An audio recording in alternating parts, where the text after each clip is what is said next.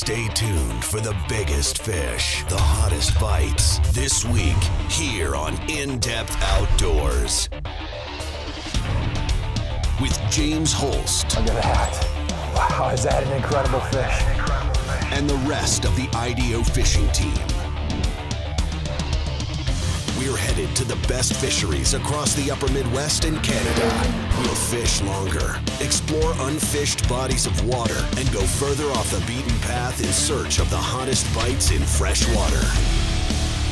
With Pat McSherry. All right, what a fish. Andy Fiocco. Wow. Get the colors on this fish. And Mike Anselmo. Man, he's thumping.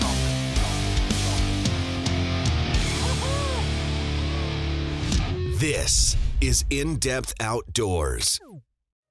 Good morning, everyone. James Holst here with In Depth Outdoors. This is our third week of broadcast, and we find ourselves firmly planted in the middle of two seasons. It's not quite winter yet. There's no ice anywhere within driving distance, and we are definitely on borrowed time here with the open water season. So we're going to be fishing today with one of the IDO fan favorites, Paul Delaney. We're out in Bay de Noc out of Escanaba, Michigan. We're going to be chasing walleyes, and we're also going to be sharing a technique that we really rely on here at IDO to get on fish once these lakes ice over. We're going to be doing some high-end mapping to make sure that once we're out there on the ice, once our mobility is limited, we're able to get right on the fish fast by using some of the custom maps we create out there in the boat. So stick around. Today's going to be a great show. We got a chance at some huge walleyes fishing with Paul Delaney today on In Depth Outdoors. Here we go. You ever feel weird walking around the parking lot wearing a life vest? Um, no, not really. I wore mine at the gas station the other day. I felt weird. You just forgot it, that's all. So the last time we were here, almost a full year ago, we were out here on ice. And I'm not gonna say we had our best trip ever. Uh, here at In Depth Outdoors, we, you know, we, we pride ourselves in being able to get on the fish. And that was a trip where we kind of struggled.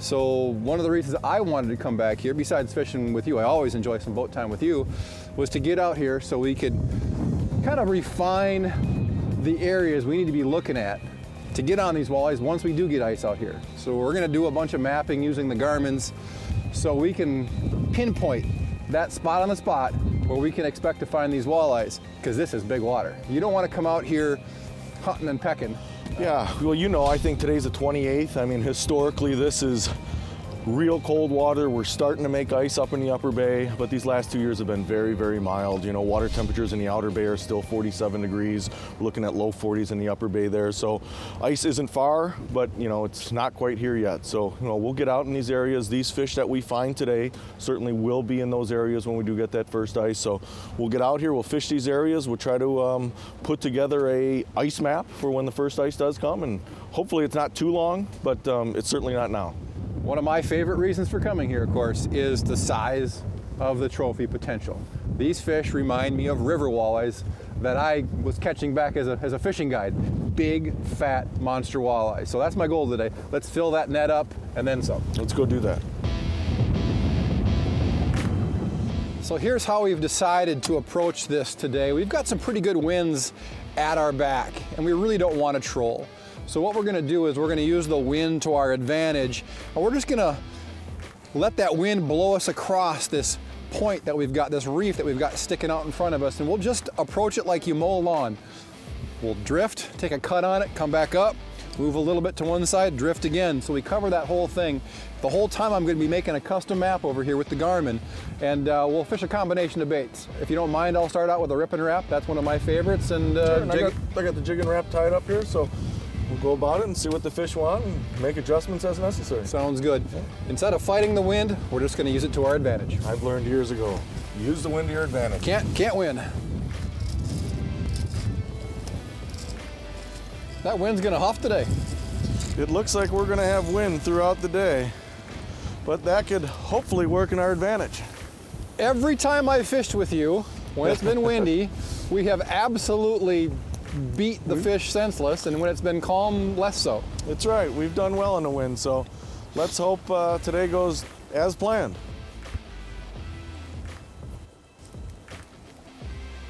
Oh, there's a fish. Got him? Oh, that yeah. was nice. Fishy. yeah. How does he feel? There's a leader. I'm gonna need a net, Paul. Okay. He whooped it. Yeah, fish wants to go underneath the. Get him! There we go. Yeah! Right. there it is. Now, what's satisfying about this to me is we're just off the edge of the humps that Paul and I fished this last winter when we kind of struggled a little bit. And like I said, we're making a custom map right now. I'm gonna show you how to do that as soon as I release this fish. That's a super It's a start. nice fish, yeah. We're gonna really catch nice like fish. 50, 60 of these today? Um, we'll catch another one. Let's go. We'll catch another one. All right, I like that. Nice fish. All right, see you later, fish. Oh, that's what I love about these things. They are a handful and a half. They're pretty thick, yeah. Later. See ya. Nice. We'll see him when he's 28 or 29 next time. Absolutely.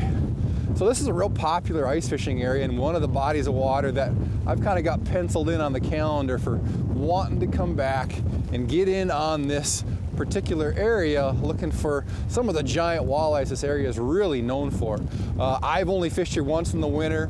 Paul doesn't have the experience here in the winter that he would on the other side of the bay where he guides a lot. This is kind of where he uh, uh, comes in and does a little playing before his guide season on the opposite side of the lake gets real busy. So making this custom map is going to be key to us because it's going to show us those edges, those inside turns, those little points that are coming off those humps. And I'll show you how to make one with one of these Garmins. It's really easy to do. I didn't know these baits caught walleyes. No, who knew, huh?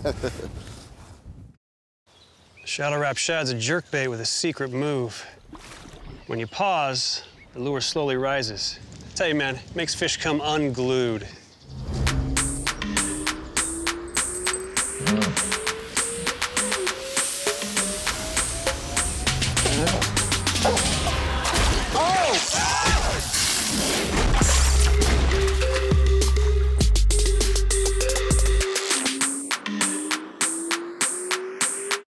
Authentic Series soft baits from B-Fish-N Tackle are just what the doctor ordered if you want to scratch your big fish itch. Available in two body styles, the Moxie Auger Tail and the Pulsar Paddle Tail offer a perfected blend of field-tested color patterns and hyperactive designs that come to life in the water to produce unparalleled fish-catching movement and vibration other soft baits just can't match. Authentex Plastics, your prescription strength cure for slow fishing, only from B-Fish-N Tackle.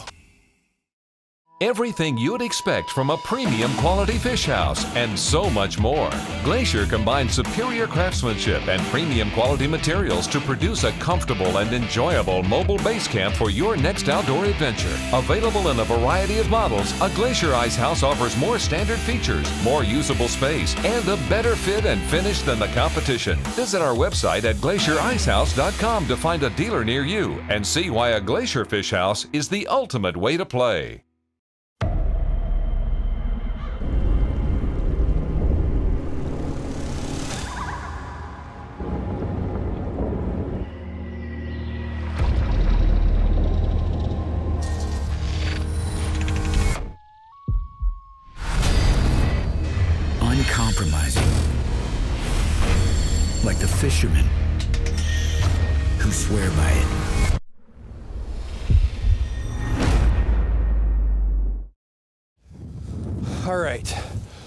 So here's what we're trying to do today, making these custom maps. Um, the Garmin uh, internal map that comes on the SD card you buy is as good as any uh, mass-produced map out there, but you have to understand when the survey crews come out to make one of those maps, they kind of run a grid system. They space their lines in this direction out on a predictable uh, distance, then they go in the other direction to create a really good map, but it's not perfect. But what these uh, new mapping systems allow you to do with the quick draw contours is just do a complete scan of the bottom as we're drifting along the edge of this structure. If I want to improve that map, all I have to do is press menu, go to quick draw contours, and start recording. And what it's doing now, it's using the Panoptix transducer at the back of the boat, and it's covering a huge area underneath my boat right now. And it's always improving the map. You can see it actually creates an indicator to show you the areas that I've covered and the detail, the accuracy is absolutely stunning when you compare it to even the best mass produced map. So the more we fish this area, the better the quality of that map gets. And all you have to do at the end of the open water season is just pop out that SD card, take that out and put it in your handheld and you've got it available out there on the ice. And let me tell you, what we've been seeing is uh, up on Leech and Lake of the Woods and the other areas where we spent time mapping like this in advance of the ice fishing season, we are finding the vast majority of fish, as we all know, found on very small places and it's very predictable. Once you find them with these maps, you kind of lock in on them. That's really going to come into play once we're limited with our mobility out there on the ice. So if you've got one of these fish finders that has that capability, definitely be putting it into place. Everybody wants to be out on the ice right now, but there's still some things you can be doing to help you put more fish on the ice once we do get those cold temperatures we're all waiting for. I'm gonna catch another one. There you go. One more and I'm switching. I said I have a lot of fun catching fish on this Jigging Rap up here the last couple years, so my confidence is real high in it. Of course, we're running a couple different baits there, but I always say three bites is a pattern, so that's one. My rule of thumb is never fish the same bait as your buddy, and that rule absolutely got me clobbered fishing with Pat last week for muskies. So uh, I'm not sure it should be something that we're gonna stick to too long today. One more bite on that before I get bit, I'll think about it. There we go, right here. Hey! Right here. Yeah, that one is right below the boat here, James. I'm here. You know, we got the, the waves blowing, the boat drifting. These fish want to go under the boat there. They're just trying to stay down. We're running them over.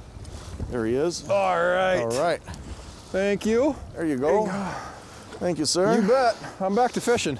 Now, when we started, James and I were just to the east. We're sitting on a piece of structure right here. We've got a south wind blowing right up on the tip of it. So what we'll probably do here is go a little bit further, capitalize on this little small area here where we found these fish and just keep making drifts over this. And as long as we're getting bit, we'll just keep repeating our passes there. All right, we'll get you back in the water and you can grow bigger. There we go. There you go. Felt that one. All right. Let me find That was a short line deal. Nice. Oh, I got this one. You- There's no net need for the net on this one. You'll No see net? why. Okay. Oh, did he eat that? Yes, he did. Nice. Ah.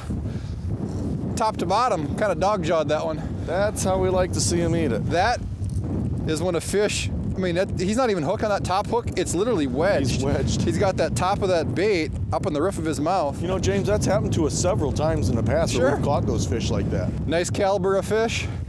We're kind of putting together that spot on the spot I was talking about. We're just doing kind of like how you mow a lawn, making paths next to each other so you build that map and really get a really good idea of how that piece of structure lays out. All right, see you later, fish. Whoop. That water is not warm, Paul. No, it's not. It's not as cold as it should be this time of year, but it's it's cold. Not a typical year. I would love to be out in the ice right now, but uh, this is the, the next best thing for sure. And I promise you, there are some big fish in here, so it's just a matter of connecting on them. It's not like you're. Oh! All right. There we go. That's a good fish, Paul. Push it towards you. Good. Yep. Hey, they're all good. Some are just heavier than others. No, this one, this one's good. All right. well, I'll assist you here with the net. Way different head shakes on this one. Good. Woo, doggy. I love when they get heavier next to the boat. That's right. Whoa. All right, you're gonna be that way. Oh. Here we go. All right. Come here. There yes. we go. They're getting a little bigger. They're climbing the scale. There we go. They got that nice golden color, kind of like a Canadian walleye almost, because of the They do. They sit in water. the stained water and they get a little bit darker. Come That's here, a you. great fish. Yes, it is. I think he just popped off Right? Did he? That He fish. wasn't hooked that good. No, that fish. He brought that bait so far forward, so fast. It was like the bait's gone. Yeah. He's probably pushed up. He probably came up after the bait, you know, and then we're drifting towards him. That's a 26 inch fish, I would imagine. A six pounds maybe. Yeah, Right there. fantastic, fantastic. Mm-hmm. You know, we haven't been doing this very long. We're just really kind of starting to really hone in what where we want to be. Just starting to come together here. All right, fish over the side. Thank you, Paul. Absolutely. Loving it. Great fish. Fills up the hand and then some. Bye bye. That was a nice fish, James. When you're fishing these Rippin' Raps, uh, this number seven is a larger, heavier bait. Very important today in the wind, as I've mentioned. And uh, the setup that we're using here today. It's a Helio spinning rod, that's from Okuma. I like a little bit heavier rod when I'm fishing these baits. Uh, this is a medium action. It's got a real quick tip to it, transitions into the blank, and that's important because you can cast these baits a country mile downwind, and that fish was a great example of when those fish hit that bait and bring it back towards you, you've really got to have a stouter rod to drive that hook home because you're going to have some slack in the line. And we're fishing braid. This is Suffix 832. That's a 10 pound test, four pound diameter. And the spinning reel, that's an Inspira from Okuma also. Just a great little setup for fishing these Rippin' Raps. Seven foot long rod, which I think is great for being able to really hop that bait up off the bottom. Not a super expensive combo, but a really effective combo for fishing these baits in these conditions. In pursuit of what lies beneath, Okuma Fishing Tackle is the point of connection between angler and opportunity, giant pike and muskie, drag screaming salmon, and deep-bodied lake trout, hard-fighting bass, and the elusive walleye, all pursued by anglers that demand the smoothest, longest casting reels and perfectly balanced fishing rods, engineered to perfection, everywhere, every species. Okuma Fishing Tackle is inspired fishing.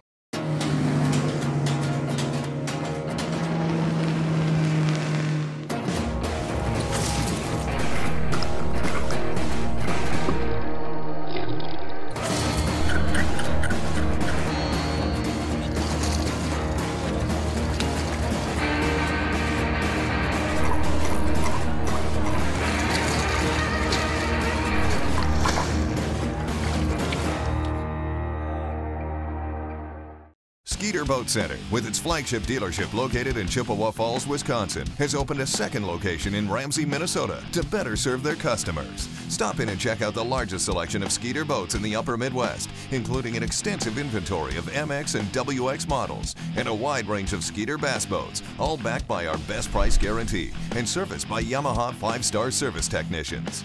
Find us online at skeeterboatcenter.com. And remember, our goal is to help you have fun fishing. Shadow Rap Shad's a jerk bait with a secret move. When you pause, the lure slowly rises. I tell you, man, it makes fish come unglued.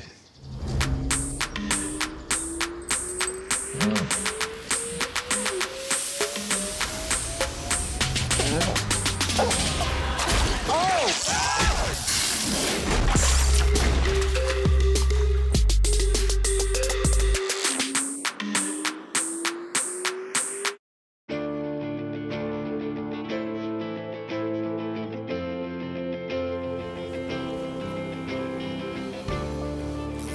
right here. Oh!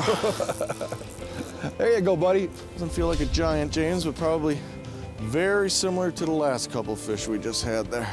There she is. Super. There we Super go. caliber fish. And you're right, they're males. Okay, there we go. Now, if you remember, James just caught three fish to my one back there, and I was running. First, I was throwing a number nine Jigging Rap. Then I went on to that um, UV green.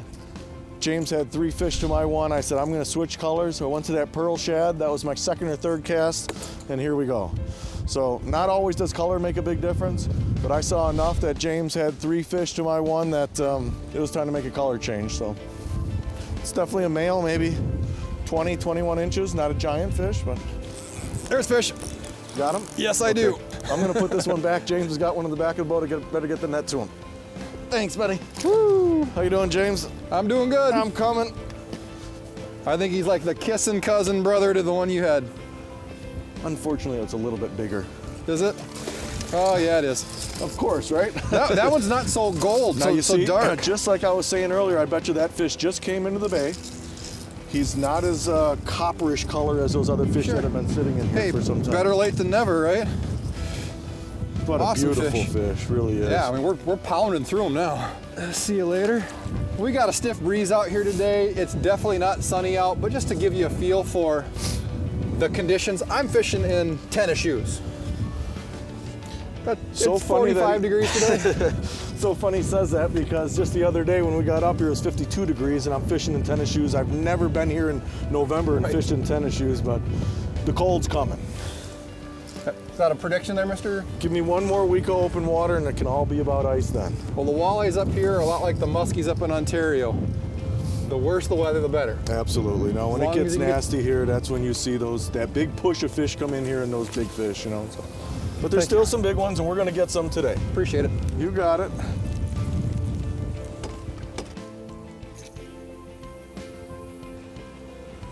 Holy smokes, that's a good one. Yes, it is. That's a better one. Oh, yep, nice head shake. Polly Shore. Shore's coming. Don't don't worry about it. Man, do I like the way they hit these things. Here it comes. Nice mid 20. Bait's right in the corner of its mouth, it looks like. Come on now. always, they go under the boat. Of course. Well, the, maybe the boat goes over the fish. It's a little bit of both. Depends on how you look at it, I guess. Come on, fish. Come up from underneath there. There's the leader. Oh, I can't Just move don't want to stab at him here until you get a good view of him. Ooh, yeah, Oh, biggest right. fish of the day. Hey. Boom. We're piling them up. and what did we say? Let's make a little move because there's got to be some bigger fish here somewhere. I know they're here. We had a bunch of males kind of right off the tip of this reef. We just made a little slight move over to the west in a little bit deeper water. Yeah, Ten like a- casts later, there we are. 100 yards. That's That's, a nice chunker there. That's a female. Yep. Nice fish there. You hold that for me, Sure will. Paul.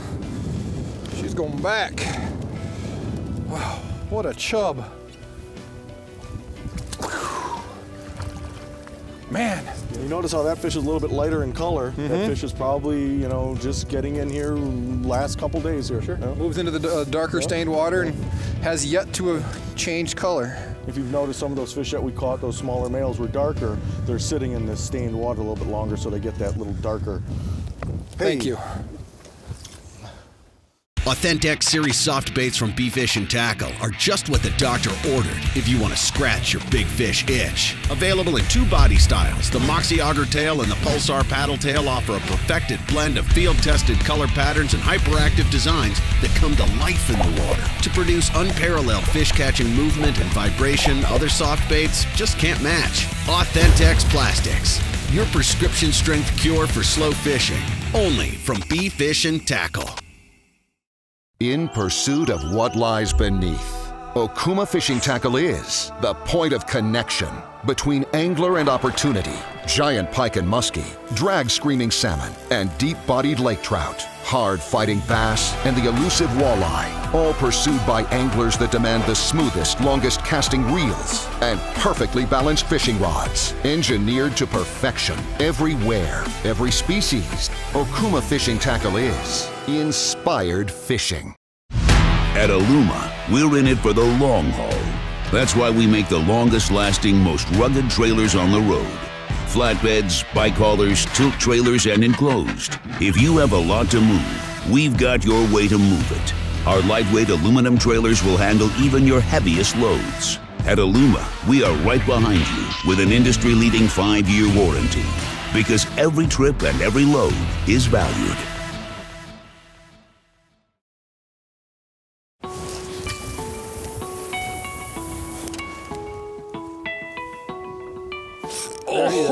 I feel that one? Sounds like it. Woo!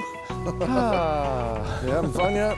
Yes, I am, sir. Yes, I am. Here, why don't I give you a hand? I got it. All right? You catch one. All right. Ugh. He's bigger than you thought. Yes, it was. well, I'm at the point where if it gets off, who cares? There's a lot of days that it's not like that. You know, we're not keeping fish. But pretty rare day a guy can go out and catch multiple limits of fish that size. Again, not that we're keeping them, but quite a day so far. I still think we've got the best part of the day coming. Back you go, fish. There's one right here. Look at that. You bet. Look at that. Is that the one, Paul? It is the one. Yep, big one. Big one. I'm here for you. This is our biggest one of the day right here. That's the way it should end. Stay on there, baby. Please stay on there. She's a big fish. Where are we going? We going to the other side?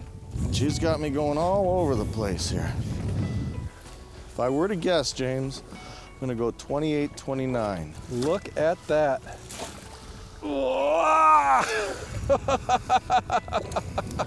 See, and I thought it was a big fish. It's not a big fish. Oh, you just stop it. This is what we talked about all day long. Let's get that fish out of the net here.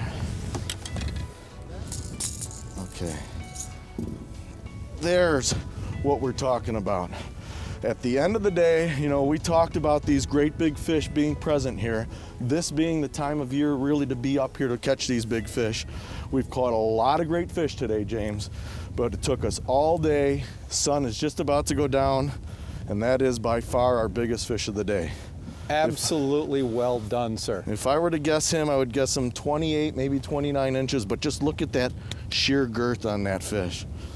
What an absolute beautiful, beautiful specimen. Let's go ahead and get her back in the water. Oh, look at that. That was a blast. You go ahead and get back in the bay.